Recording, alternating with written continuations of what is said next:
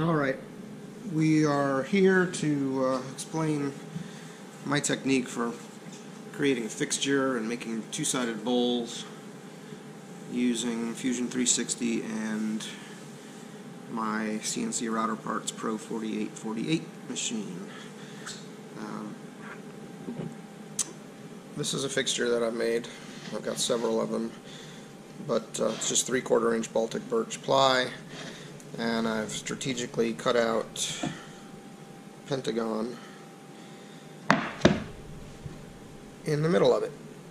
And I've got some lines on it to help me mark things up. I've got some guides here a 90 degree angle that I can put blank stock in if I'm making multiple parts or multiple pieces of the same same carving. And then I've got a bunch of these pentagons that I cut out that fit nicely down in. Nice and snug. Um, so that's the basis of the fixture. And here's a, a small piece of stock that I'll use as an example in just a minute. Alright, so lining up my stock and securing it to my fixture is usually a no-brainer, but I'm using a non-standard size piece of stock here and just doing a little prototype for the video. So I'm eyeballing centering my stock on my fixture.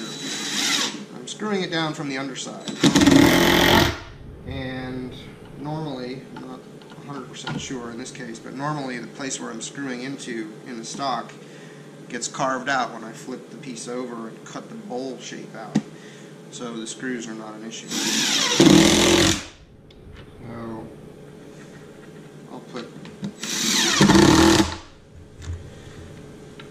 I'll put one in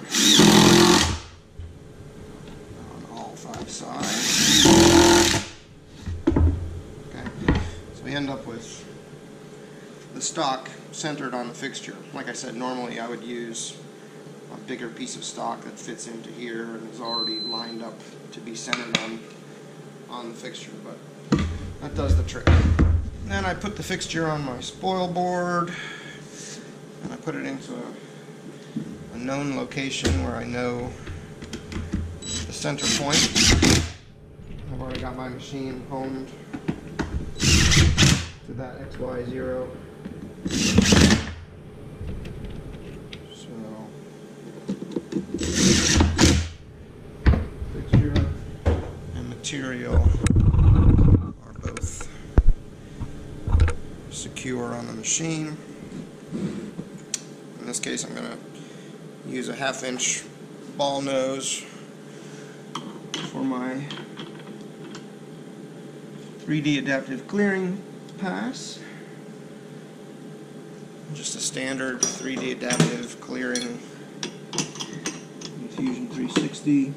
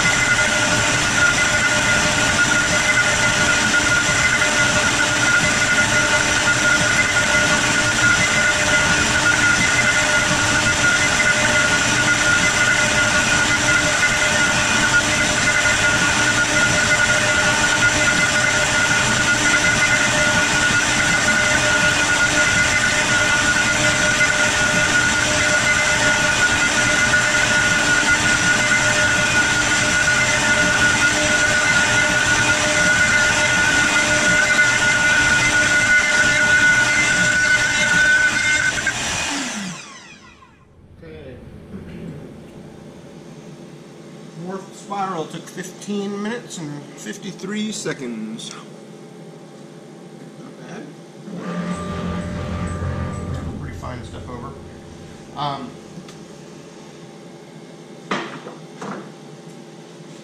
clear up some of my mess. And the next thing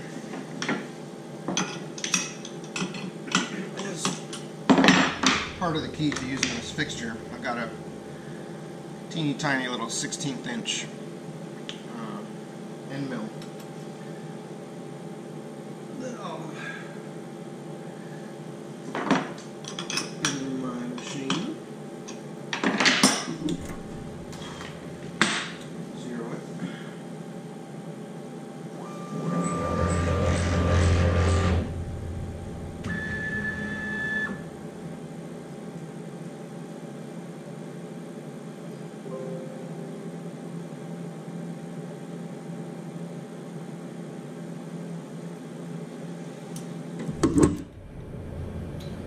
Now what I'm about to do is to uh, effectively engrave pentagon on the bottom so I know exactly where to place it and glue it.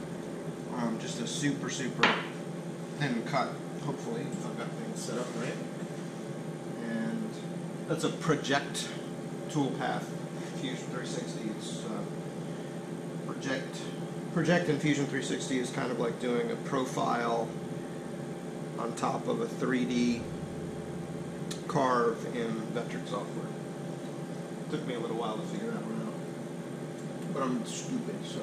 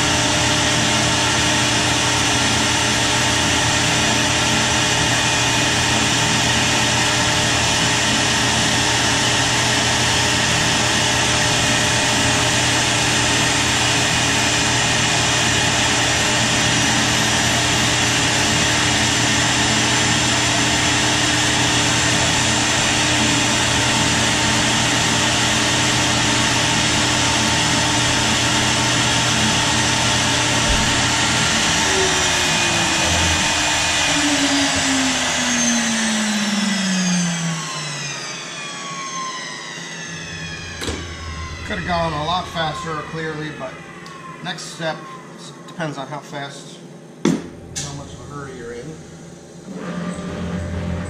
But I now have this nice little teeny tiny outline pentagon, and I'm gonna super glue it on.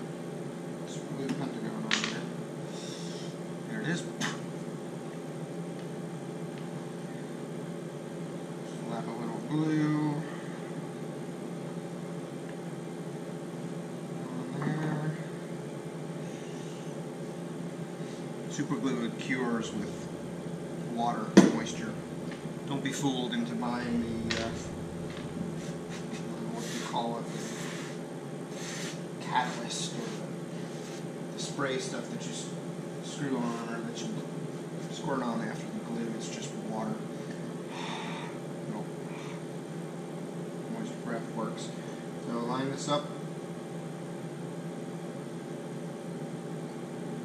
Just so.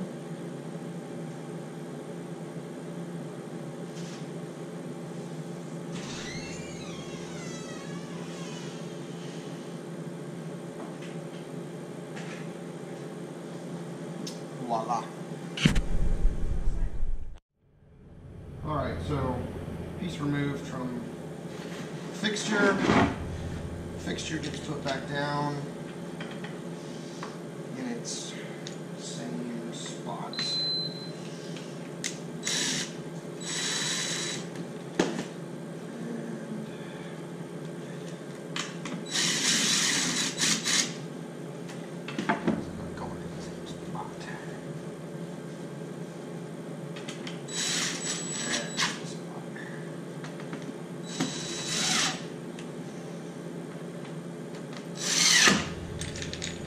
And exact same spot.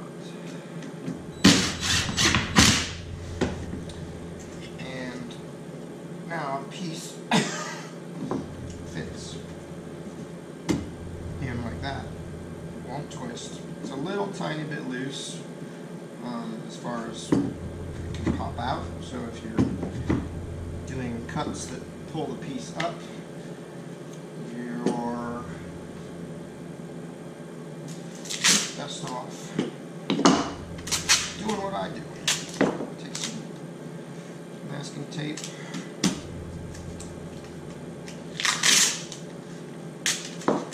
Stick it on.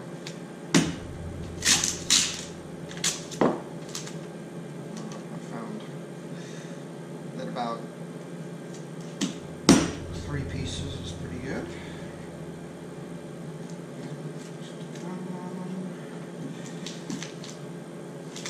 Fill that gap a little bit. I took my trusty rubber mat.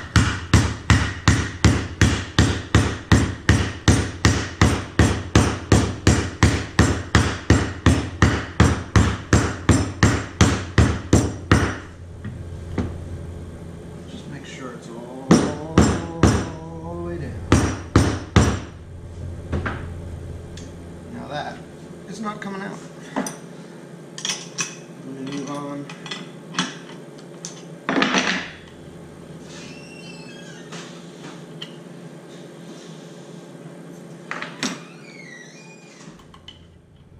Okay, piece is glued on.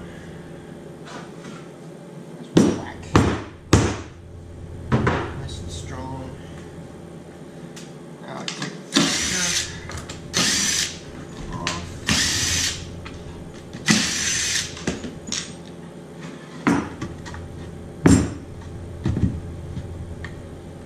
Side one complete.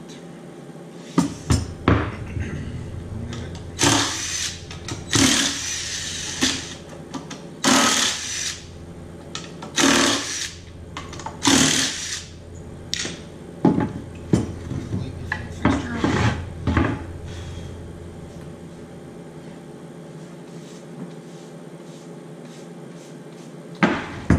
Put my fixture back down.